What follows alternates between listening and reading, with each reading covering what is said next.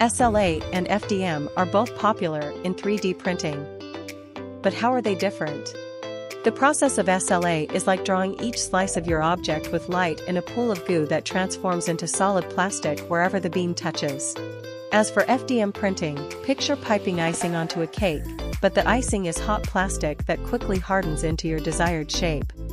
Apart from the differences in how they work, they also differ in print performance, namely, the speed, resolution, and surface finish. In general, FDM is able to achieve faster print speeds compared to SLA.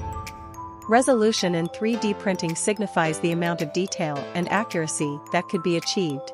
SLA is really remarkable in achieving high-resolution parts, while FDM has a lower resolution due to the limitations of the extrusion process. As for surface finish, parts printed with SLA usually have a smooth, almost glossy surface, while the surface of FDM parts can be rough to the touch. In terms of application, this chart reveals the sweet spots for SLA and FDM technologies. SLA excels in delicate realms like figurines, jewelry prototypes, and dental models, while FDM shines in maker-friendly domains, DIY projects, electronic cases, and home decor. Art pieces, cosplay, toys, and prototyping form a creative crossroads where SLA and FDM both bring their unique magic to life. When considering SLA and FDM 3D printing technologies for your project, it's crucial to evaluate the associated costs and ease of use. In terms of printing costs, FDM 3D printers are generally more affordable than SLA printers, both in terms of initial equipment investment and further expenses on materials.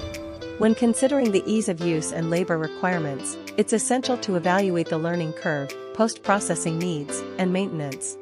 Overall, FDM takes the crown as the more beginner-friendly option. As you can see, there's no definitive best 3D printing technology. Understanding the unique characteristics of SLA and FDM is crucial for selecting the most appropriate method for your specific project needs. For DIY hobbyists, creating electronic cases or home decor, FDM multicolor printers are ideal. Beginners can start with the Anycubic Kobra 3 combo and the FlashForge Adventurer 5X, while the Creality K2 Plus combo offers more advanced features. Professionals needing rapid prototyping or mechanical part production will love FDM high-speed printers. While the Artillery X4 series suits most needs, the Creality K1 and Qidi Q1 series deliver top-tier performance. For artists, jewelry designers, and professionals requiring ultra-precise details like miniature creators, cosplay prop makers, or dental professionals SLA printers are the perfect solution. The Elegoo Mars 5 Ultra is an excellent entry point, while the Elegoo Saturn 4 Ultra and Anycubic Photon Mono M7 series provide professional-grade precision.